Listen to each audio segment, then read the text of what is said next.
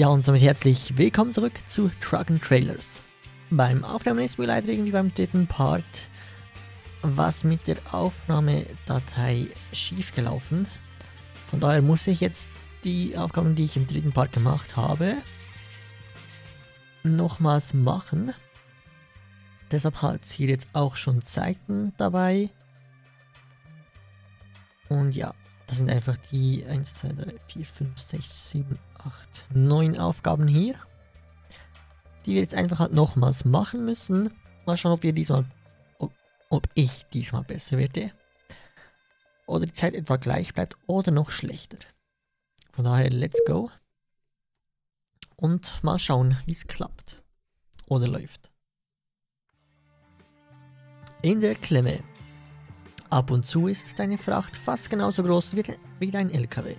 Und trotzdem musst du sie genau dort abliefern, wo der Kunde es möchte. Bring also all deine Erfahrung auf, um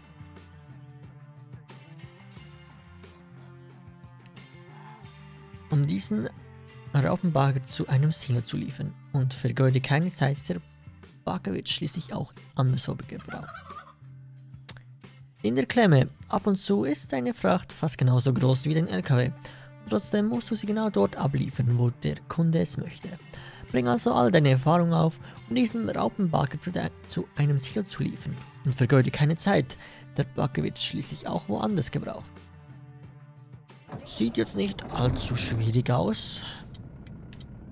Habe ich auch damals gesagt, als ich es das erste Mal aufgenommen habe. Und trotzdem gab es bloß Silber. Vielleicht mache ich es ja diesmal besser. Werden wir ja sehen. Aber ich glaube, Gold wird es trotzdem nicht werden.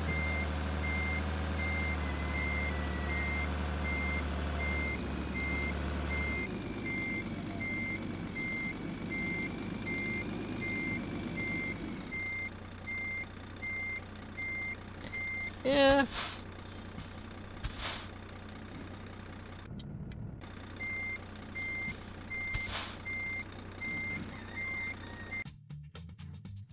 Ja, das war, glaube ich, fast die gleiche Zeit. Egal, weiter geht's. Silber ganz okay, mit dem kann ich leben. Gabelstaplerlieferung. Soeben ist eine dringende, soeben ist ein dringender Auftrag eingetroffen. Ein Gabelstaplerhersteller braucht deine Hilfe, um seinen gerade verkauften Gabelstapler auszuliefern.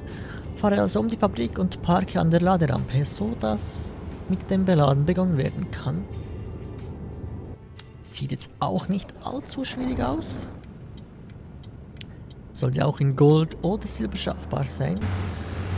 Allerdings ist der Trailer etwas länger als andere. Von daher mal schauen. Auf jeden Fall schön hier am LKW entlang.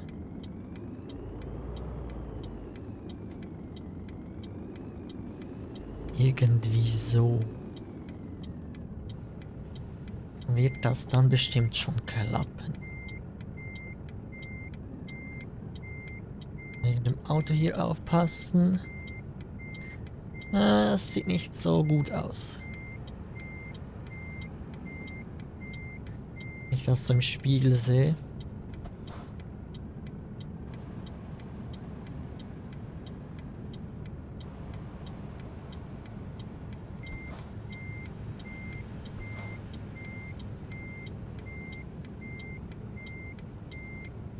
Und da hilft mir jetzt wenigstens der Seitenspiegel etwas. Mehr als sonst auch schon. Aber der andere Spiegel nützt mir wieder mal gar nichts.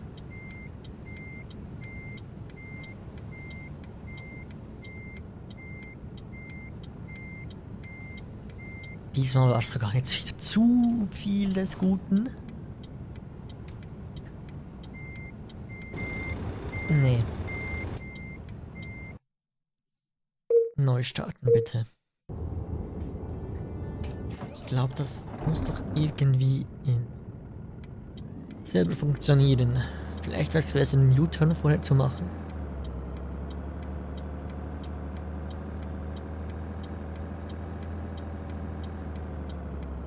Also sprich hier jetzt einen U-Turn machen.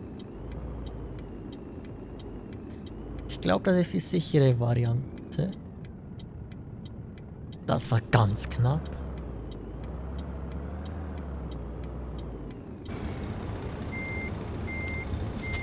Ja.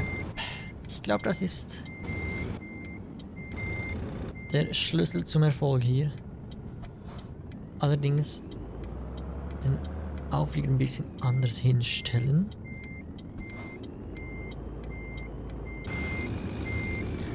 Das sieht doch gut aus.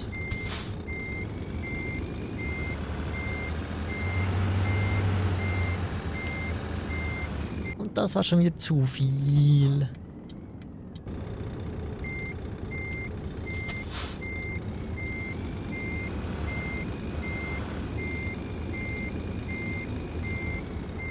Perfekt. Schauen wir uns gleich dann am Schluss noch an, ob ich besser oder schlechter war als beim ersten Durchlauf. Aber erstmal diese neuen Aufgaben jetzt hier fertig machen.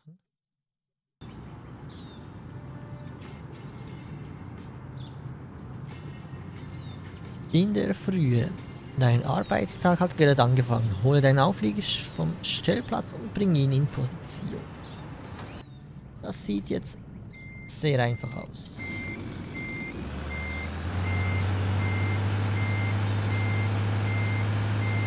Aber auch in Gold wird das wahrscheinlich echt sehr knapp werden.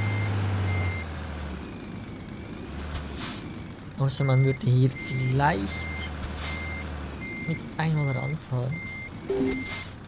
Wow. Okay, da habe ich gerade aufs Lenkrad geschaut. Und dann kann ich gerade noch kurz schauen, in welche Richtung der Auflieger dann stehen muss. Okay, dann fährt man hinten rum. Das ist gut. Vielleicht kriege ich es diesmal ja in einem Zug hin, mich perfekt hinzustellen.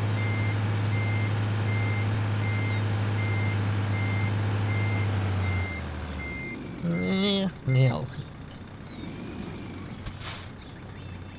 Aber diesmal jetzt nicht so reinfrischen wie vorher.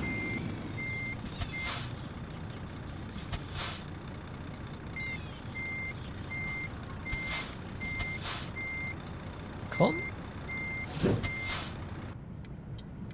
Vollgas voraus. Silber sollte drin liegen.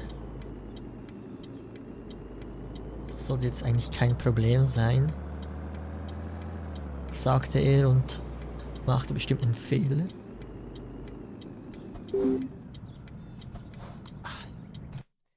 Ja, jetzt möchte ich zu sehr pressieren. Also mich zu sehr beeilen eigentlich. Nicht gut, nicht gut. Und ich hab's gejinxt.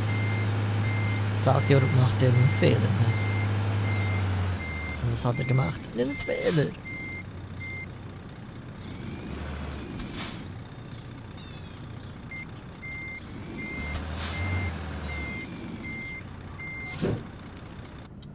Okay. Etwas langsamer vorgehen diesmal. Es hat immer schwierig, eine Hand am Lenkrad, die andere an der Maus zu haben, um mich hier umzusehen. Da wäre natürlich Track IR oder der Eye Tracker viel besser. Aber keine Ahnung, ob das hier überhaupt mit dem Game funktionieren würde. Da es ja schon recht alt ist. Aber für diese kleinen Aufträge geht das ja klar. Lieferzeit. Die Laderampe ist jetzt soweit für dich. Du musst deinen Auflieger nur noch schnell in Position bringen. Okay. Das sieht jetzt wirklich sehr einfach aus. Eigentlich rückwärts im Bogen an die Laderampe heran. sollte jetzt wirklich kein Problem sein, außer der LKW hier drüben ist vielleicht eine kleine Schwierigkeit, aber das geht klar. Aber auch in Gold ist das recht schwierig zu schaffen.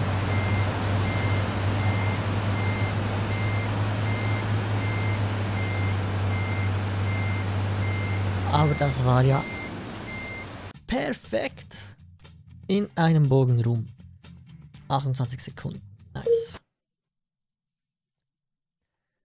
Weiter geht's, weiter geht's. Knifflige Sache. Es kann eine ziemliche Herausforderung sein, an einem Industriekraftwerk entlang zu fahren und dabei allen Gefahren auszuweichen. Fahre vorsichtig bei diesem Job. Okay, 90 Grad Winkel dort hinten parkieren. Und daran kann ich mich noch erinnern, das ist nicht wirklich äh, einfach. So war nicht wirklich einfach und ist es auch nicht. Denn dafür muss man ja jetzt hier eigentlich den Trailer erstmal schön in Position bringen irgendwie und jetzt über den anderen Spiegel eben dort die Treppe verfehlen. Ja, dort ist ja noch eine Treppe. Auch sonst alles andere. Irgendwo sind noch andere Balken. Also Stützen meine ich. Das wird jetzt Bronze geben, das kann ich euch sowas von sagen.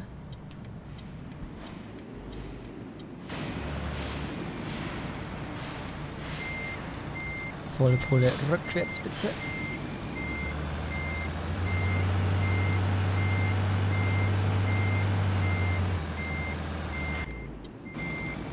Rechts sieht's gut aus.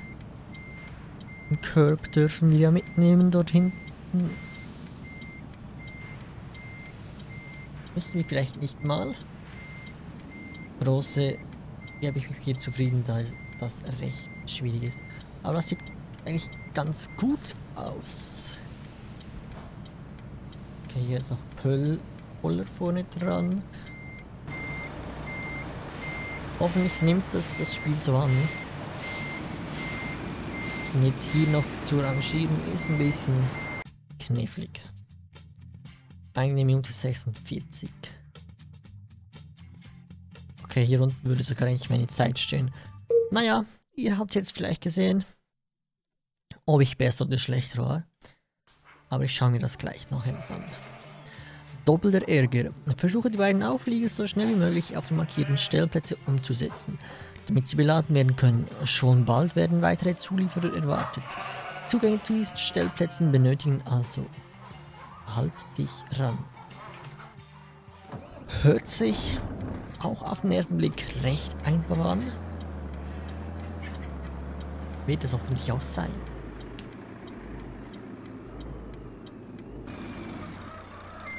Natürlich nehme ich erst den vorderen hier und platziere ihn dort drüben an der 3. Ist ja logischer vom Vorgehen her.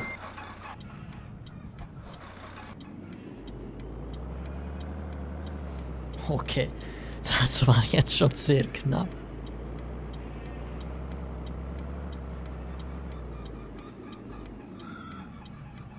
Das war, glaube ich, auch recht knapp.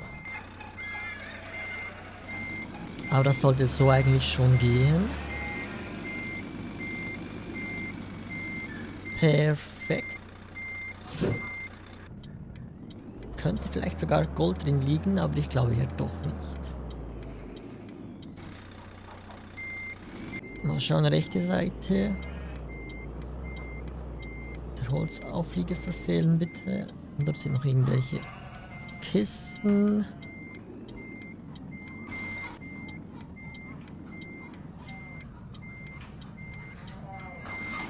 Okay, Gold wird es nicht mehr, aber dafür Silber. Und Silber sollte reichen.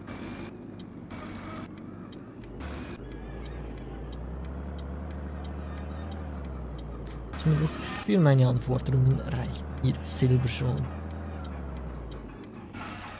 Und jetzt einfach Vollgas rückwärts.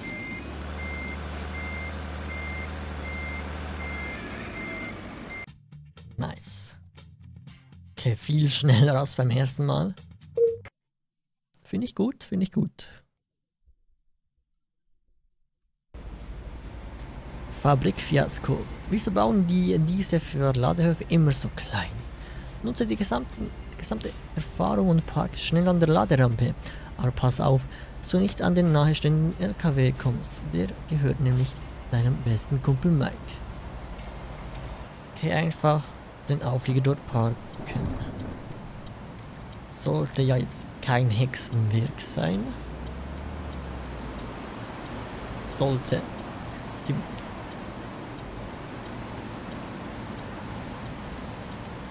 Betonung liegt auf sollte.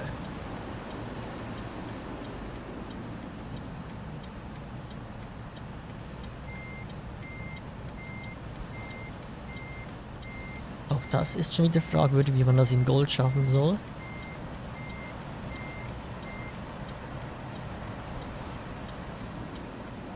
Und dort hinten sind halt noch so Kisten.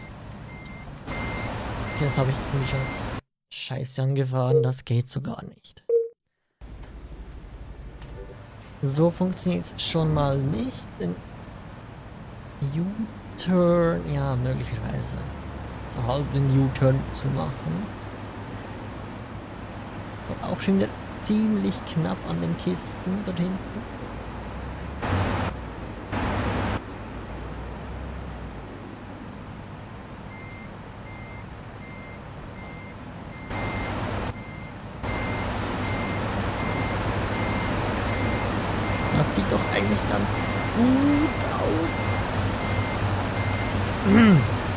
Hat jetzt niemand gesehen, dass ich hinten an die Laderampe gefahren bin.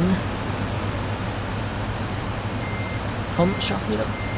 Komm, komm, komm, komm, komm. No, schade. Ganz knapp. War beim ersten Mal besser. Aber lass ich jetzt mal so. Ausfahrt blockiert. Du blockierst momentan eine Ausfahrt und wurdest gebeten, an der Rückseite zu parken, bis alles soweit für dich ist. Dort vorne, nach hier hinten, rückwärts. Okay.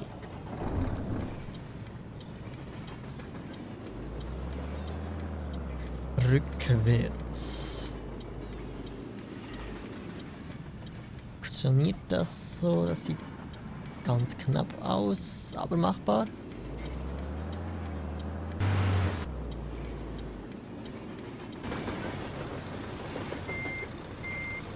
Jetzt einfach rückwärts im Bogen um die Garage herum.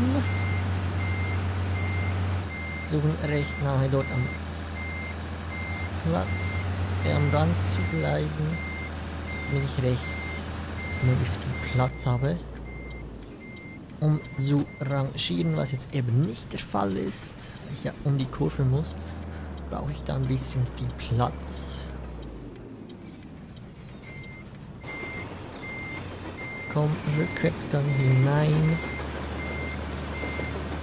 Über den Randstein drüber. Rechts schauen, wie es aussieht. Nicht allzu gut. Ist schon recht knapp. Sollte aber funktionieren. Gut aus.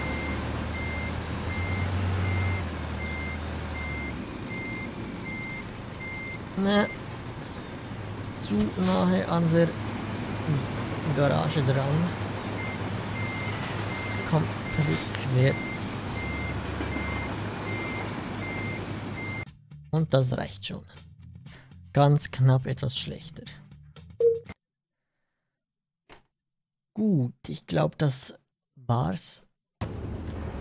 Wenn ich das richtig gesehen habe. Kurz mal schauen.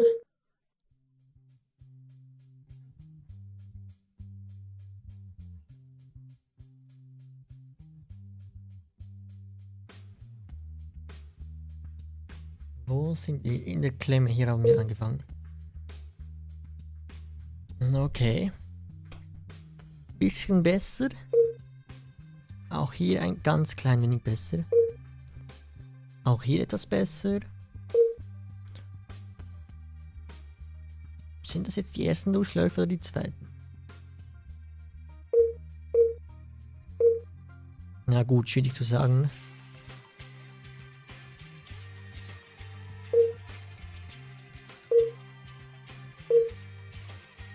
Auf jeden Fall nicht so große Unterschiede.